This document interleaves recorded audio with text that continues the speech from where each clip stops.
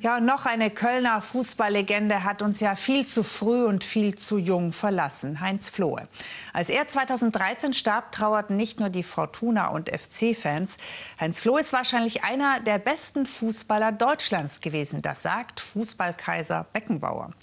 In Köln bezweifelt das ohnehin keiner. Wer es nicht glaubt, der Film Heinz Flohe, der mit dem Ball tanzte, er beweist es. Mit privaten Geldern durch Crowdfunding finanziert, hat der Film gestern Premiere gefeiert und Sie können ihn ab sofort als DVD kaufen.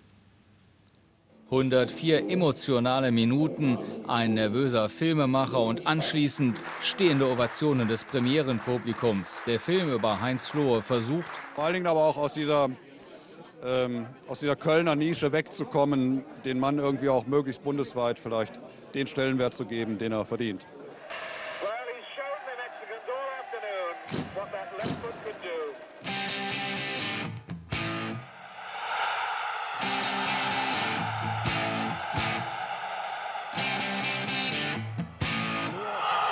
Er hat ein bisschen tendiert zu Schalke. Ja, er hat, also im Grunde wollte er nicht zum FC hochnäsiger Verein und äh, ein bisschen arrogant.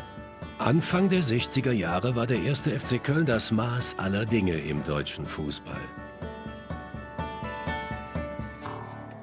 Der Film ist äh, doch beeindruckend und sehr aufschlussreich.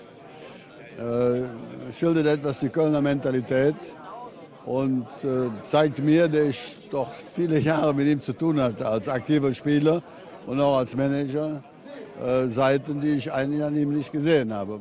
Für Heinz Flohe galt es, sich im Mannschaftsgefüge durchzusetzen. Das Herz seines Boxers kam ihm dabei zugute. Ja, da bist du erstmal nur der Hintere. Beim FC war es ganz extrem. Wir hatten ja drei Kabinen: Nationalspieler, Normalspieler und die Arschlöcher. Ne? Und so war es im Bus auch. Vorne saßen, die hatten alle ihren festen Sitz und die Idioten saßen hinten auf der Rückbank. Weißweiler puschte Flohe wenn der Hennes dieses Flocke, also da, da konnte er mir Angst werden. Flocke! Flocke! Ich habe im Fernsehen Räuber Hotzenplotz gesehen, vor dem hatte ich Angst. Und von Hennes Weiß war da Angst. Noch einmal Höhepunkt des Jubels. Heinz Flohe, Harald Schumacher, der Torwart, zeigen die Schale den Fans, den inzwischen vielleicht 15.000 auf dem Platz vor dem Rathaus.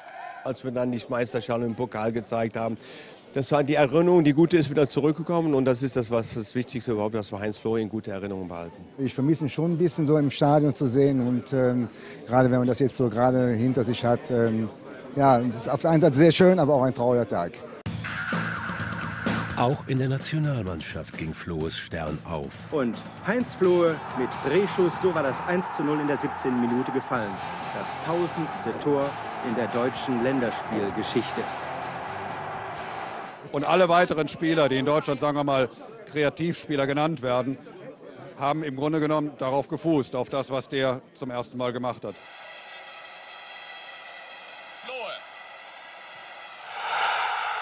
Er ist total authentisch dargestellt worden und äh, da passt eigentlich von Anfang an, äh, von A bis Z, die ganze Geschichte, das passt auch zu ihm.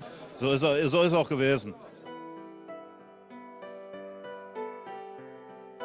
Im Mai 2010 erlitt Heinz Flohe einen Gehirnschlag und fiel drei Jahre in ein Wachkoma.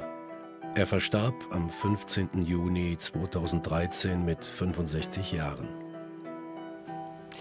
Der Film geht ans Herz.